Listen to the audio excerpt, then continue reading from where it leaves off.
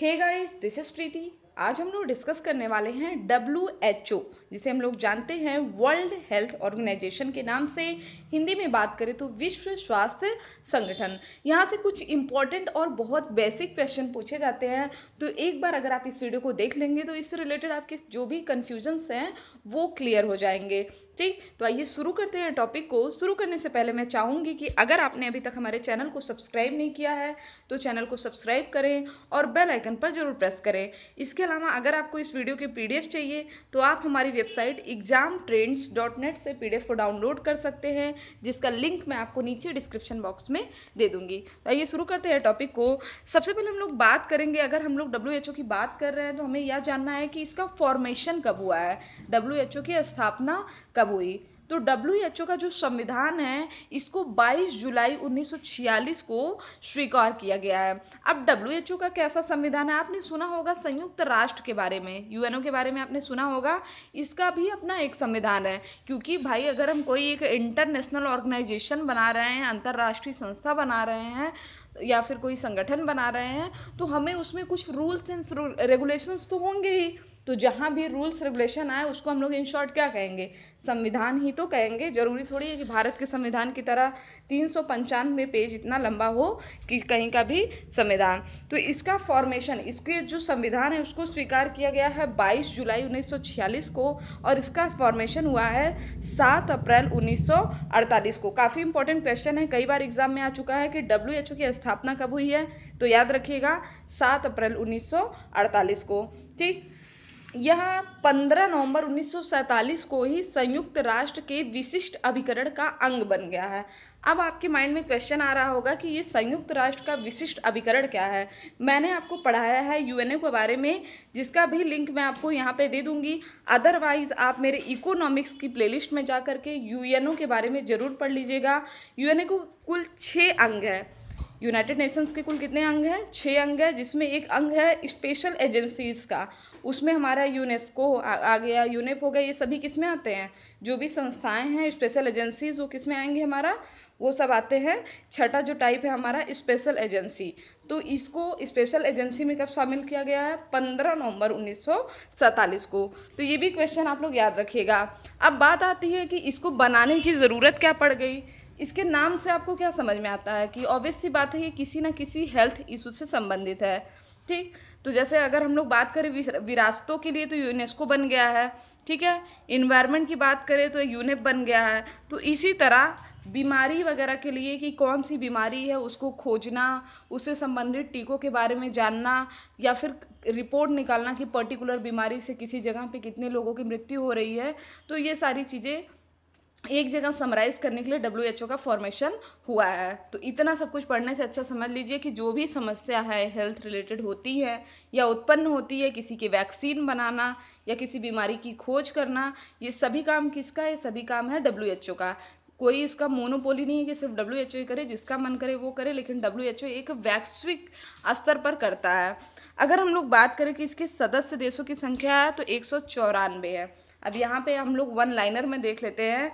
W H O की स्थापना हुई है सात अप्रैल 1948 को। इसका मुख्यालय है स्विट्जरलैंड के जेनेवा शहर में। और भारत भी डब्ल्यू एच ओ संगठन का एक सदस्य है, जिसका मुख्यालय भारत की राजधानी दिल्ली में स्थित है। अभी इसके बारे में मैं आपको आगे बताऊँगी, जो क्षेत्रीय संगठन है डब्ल्यू एच ओ के, उनके बारे में। ठीक है? फ़िलहाल याद रखिएगा, राजधानी कहाँ पे है? दिल्ली में इसका हेडक्वार्टर है। अब इसके सदस्य देशों की संख्या कितनी है? तो 194 है सदस्य देशों की संख्या। डब्ल्यूएचओ ने अब तक 10 प्रमुख जानलेवा बीमारियों की पहचान की है। जिसमें कैंसर, सभी को पता है कितना है। इसके अलावा cerebrovascular disease acute lower respiratory infection मतलब देखिए, कई बार आपने सुना होगा कि किसी को फीवर हुआ और इंसान की डेथ हो गई। एक्चुअल में ऐसा कुछ होता नहीं फीवर जो है वो बहुत छोटी बीमारी है। फीवर हो गया, सर्दी हो गया, किसी को जुकाम हो गया तो ये सब छोटी। लेकिन आजकल आप देखते होंगे कि लोगों को इसी बीमारी की वजह से डेथ हो जाती है तो एक्चुअली में ये कोई बीमारी नहीं होती है। इसके पीछे कोई और कारण होता है कोई ना कोई ऐसा वायरस होता है जिसके सिम्टम मैच करते हैं फीवर से या फिर खांसी या फिर सर्दी से, ठीक? और लोगों की मौत हो जाती है। तो डब्ल्यू एच ओ क्या करता है? उनके पीछे की जो वजह है, अगर जैसे अभी वायु प्रदूषण एयर पोल्यूशन की अगर हम लोग बात करें तो बहुत से देश ऐसे हैं जहाँ पे एयर पोल्यूशन तेज़ी से बढ़ रहा है। ठीक? और इसी वजह से जो है हम लोग सौर ऊर्जा की तरफ़ मूव कर रहे हैं कि जहाँ पे हम लोग ज़ीरो पोल्यूशन फ्री एनर्जी को जनरेट कर सके और कार्बन का उत्सर्जन कम से कम कर सके। अभी भारत की अगर हम लोग बात करें तो पिछले दो तीन सालों में एयर पोल्यूशन से 1.2 मिलियन एयर पोल्यूशन से जो रोग होते हैं डायरेक्टली आप रिपोर्ट में आपने ये सेंटेंस मत डालिएगा अगर आप कुछ भी कर, लिख रहे हैं कहीं, कि 1.2 लोगों की मृत्यु टू मिलियन लोगों की मृत्यु हो चुकी है एयर पोल्यूशन से नहीं। 1.2 मिलियन लोगों की मृत्यु हुई है एयर पोल्यूशन द्वारा, जो जो बीमारियाँ जनरेट हुई हैं उन सबसे। ठीक है? तो ये सारी चीज़ें पता कौन करता है? ये सारी चीज़ें काम है डब्ल्यू एच ओ का पता करना या फिर और भी संस्थाएँ हैं जो अपना अपना रिपोर्ट देती हैं। तो बेसिकली डब्ल्यू एच ओ हमें क्या करता है? हेल्थ से रिलेटेड जो भी इश्यूज़ होते हैं उसमें हेल्प करता है। चलिए, अब हम लोग बात करते हैं कि इस डब्ल्यू एच ओ का जो सचिवालय है उसका एक प्रमुख महानिदेशक होता है। इसके अलावा एक उप महानिदेशक होता है, कई सहायक महानिदेशक होते हैं, ठीक है? अब इसके जो हैं छः क्षेत्रीय संगठनों द्वारा लागू किए जाते हैं। इसके जो कार्यक्रम हैं, वो छः क्षेत्रीय संगठनों द्वारा लागू किए जाते हैं, जिसका प्रत्येक प्रमुख एक निदेशक होता है। कौन कौन से? जैसे अगर हम लोग बात करें, दक्षिण पूर्व एशिया, इसका मुख्यालय कहाँ पे है? नई दिल्ली, भारत में। पूर्वी भूमध्य सागर तो इसका मुख्यालय मिस्र के अलेक्जेंड्रिया में। पश्चिमी प्रशांत का कहाँ है? Manila, Philippines. वही फिलीपींस मनीला, जहाँ पे अभी हमें मिला है, मानव की एक नई प्रजाति मिली है। ठीक लुजून द्वीप पर, याद रखेगा फिर है हमारा कि अमेरिका के वाशिंगटन डीसी में एंड फिर हमारा अफ्रीका के ब्रेजाविले कांगो, यूरोप के कोपेनहेगन, डेनमार्क। तो इसके ये छः क्षेत्रीय संगठन हैं। ठीक इनका मुख्यालय आप लोग याद रखिएगा। अब कुछ दिवस भी है जो मनाए जाते हैं।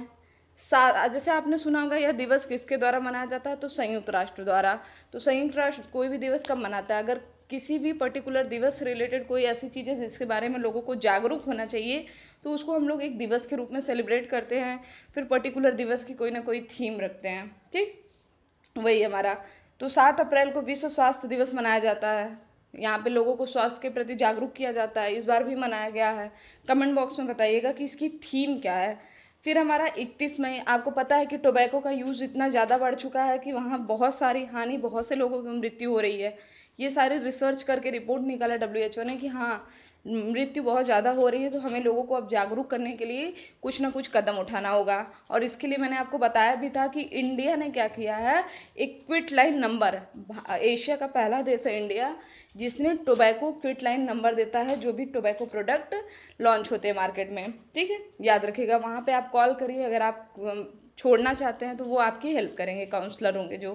ठीक? फिर हमारा 26 जून को अंतर्राष्ट्रीय नशाखोरी विरोध दिवस के रूप में मनाया जाता है एंड फ़र्स्ट दिसंबर को विश्व एड्स दिवस के रूप में मनाया जाता है। तो ये सारी हैं बीमारियाँ, ठीक है? अच्छा एड्स की बात आई है तो आपको मैंने बताया कि एक दिसंबर को मनाया जाता है विश्व एड्स दिवस के रूप में, ठीक? अब एड्स से हमारे दो इंपॉर्टेंट क्वेश्चन बनते हैं। करंट अफेयर से अगर हम लोग इसको कोरिलेट करें कि पहला व्यक्ति जो कि एड्स से बाहर निकला, उसको क्या कहते हैं? उसको कहते हैं लंदन पेशेंट एंड दूसरा जो पेशेंट है, उसको कहते हैं बर्लिन पेशेंट अभी हाल ही में बर्लिन पेशेंट चर्चा में आया थे तो उसको याद रखेगा ठीक? अब हम लोग बात करते हैं कि डब्ल्यू एच ओ ने कौन कौन से ऐसे रिपोर्ट्स दी जिसके बारे में पढ़ना बहुत ज़रूरी है हमारे लिए।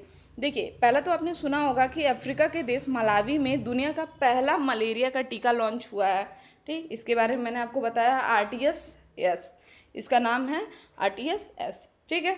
अब इसके अलावा डब्ल्यू एच ओ ने सर्वे किया और उसमें बताया कि भारत एकमात्र देश है जिसमें मलेरिया के मामलों में गिरावट दर्ज की गई है। अब यह कौन बताया? डब्ल्यू एच ओ ने सर्वे किया और इसको बताया।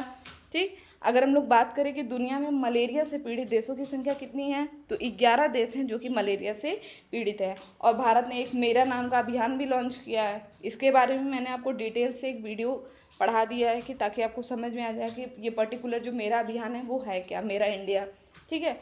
इसमें क्या करना है कि 2030 तक भारत को मलेरिया मुक्त बनाना है। यही है मेरा इंडिया का जो हमारा मोटिव है। इसके अलावा डब्ल्यूएचओ ने एक गाइडलाइन जारी किया। अब देखिए डब्ल्यू एच ओ का देखिए कि जैसे जैसे प्रॉब्लम्स आती हैं डब्ल्यू एच ओ उसको एनालिसिस करता है और उसके लिए गाइडलाइन जारी करता है। अभी उसने कहा कि जो एक वर्ष से कम उम्र के बच्चे हैं वो इलेक्ट्रॉनिक स्कू इलेक्ट्रॉनिक स्क्रीन जो है, उसको बिल्कुल भी ना देखे। और अगर हम लोग बात कर रहे हैं पाँच साल तक के बच्चों की तो वो मैक्सिमम पूरे दिन में मिला करके एक घंटे से ज़्यादा नहीं होना चाहिए। अगर वो जैसे मोबाइल का स्क्रीन हो गया टीवी का स्क्रीन हो गया लैपटॉप का स्क्रीन हो गया, इससे क्या होता है कि उनकी जो मानसिक क्षमता है वो कम हो रही है, क्योंकि बच्चों को क्या है फ़िज़िकल एक्टिविटी में इन्वॉल्व होना चाहिए। उन्हें खेल कूद करें, उनका जो नींद है वो पर्याप्त ले, ठीक? तो ये सारी चीज़ें हैं। WHO ने इसके लिए भी गाइडलाइन जारी किया। अब पोल्यूशन पोल्यूशन आप सभी को पता है, बढ़ रहा है। और मैंने आपसे कहा ना कि कोई भी रिपोर्ट पे डब्ल्यू एच ओ का एक अधिकार नहीं है। उसमें कई भी देश हो, कोई भी संगठन हो सकता है। जैसे डब्ल्यू एच ओ ने एक रिपोर्ट जारी किया जिसमें इन्होंने कहा कि पंद्रह शहरों की सूची में सबसे प्रदूषित जो पंद्रह शहर हैं, उनकी सूची में चौदह शहर भारत के हैं। और विश्व का सबसे प्रदूषित शहरों की सूची में कानपुर नंबर वन पे पहुँच गया। इवन अगर हम लोग बात करें तो वाराणसी की भी जो एयर क्वालिटी है, उसमें तेज़ी से गिरावट आई है। तो यह रिपोर्ट इसने जारी किया है डब्ल्यू ने। इसके अलावा एक संस्था है ग्रीन पीस इंटरनेशनल इसने भी अपनी रिपोर्ट जारी किया कि जो सबसे विश्व का प्रदूषित शहर है, वो कौन सा है? गुरुग्राम है और सबसे प्रदूषित राजधानी कौन सी है? वो है हमारी दिल्ली। ठीक तो अलग अलग संस्थाएँ अलग अलग काम करते हैं। फ़िलहाल हम लोग रहते हैं अपने टॉपिक पे। हमें पढ़ना था डब्ल्यू एच ओ के बारे में। तो यहाँ से जो भी इंपॉर्टेंट क्वेश्चन अभी हमारे रिसेंट के बन सकते थे। एंड जैसे डब्ल्यू एच ओ का फॉर्मेशन किस लिए हुआ, सभी चीज़ें हम लोगों ने इस वीडियो में कवर कर लिया। अगर आपको वीडियो अच्छा लगे तो चैनल को सब्सक्राइब करें शेयर करें और लाइक करना ना भूलें। साथ ही साथ वीडियो पे ऐड आए तो ऐड को स्किप मत किया करिए। ऐड को पूरा देखा करिए। Thank you friends thank you so much